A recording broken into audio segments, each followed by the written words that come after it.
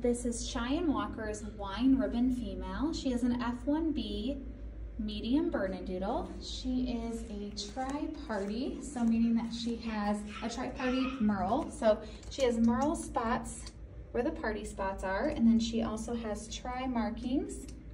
So she's gonna be probably cream or she may turn more white full grown. Keep this merle spotting and then she'll keep those tri markings. So she'll probably look just like this full grown, but again, probably a little bit more white. Hi. I love the little bit spotted nose. She only has one more spot left. Or two more spots left on her nose to fill in, but their noses will fill in black. We typically always do. I think I've only heard of one that kind of still had one little pink spot left. What are you doing? She has a wavy coat. She's expected to be curly, full grown, or she'll stay more wavy like this. So she could look just like this full grown or get a little bit more wavy. She's super sweet. I'm just sniffing everything, aren't you?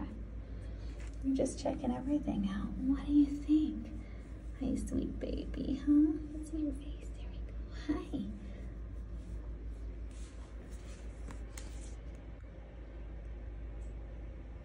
She's expected to be between 35 and 55 pounds full grown, probably more on the, I'm sorry, 35 to 45, probably more on the 45 pound side. She is one of the larger females.